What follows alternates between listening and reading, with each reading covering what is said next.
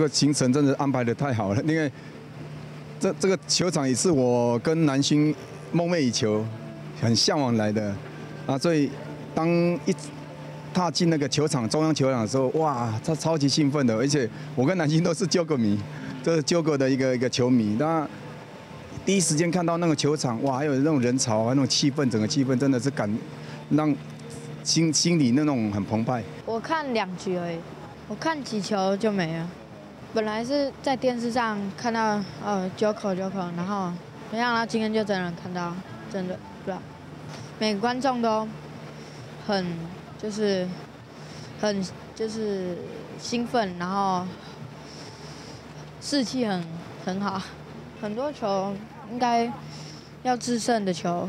都被救回来，都被救口救回来，对吧？我跟南京一直就有有跟他讲说，哎，希望你有一天呢能站在这个舞台，那我爸爸可以坐在那旁边，可以看你打球，吧？反正那个是我我一直在梦寐的，这个是希望有一天是有这么一天。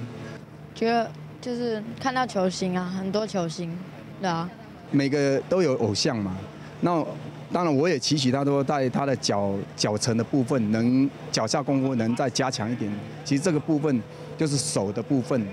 尤其是红土。其实手跟弓来讲，手确实也是蛮像欧洲选手的部分，这个脚下功夫手的部分就做得很好。所以这趟这趟的从纠葛这个部分，那我引申都是说手的部分，所以往后男性回去的话，可能在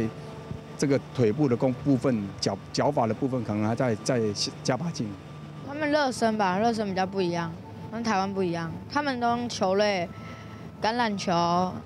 飞镖啊那些的，这趟的行程，我觉得对男星的一个往后这个网球路，对他来讲是也确实是有对他的有有影响的。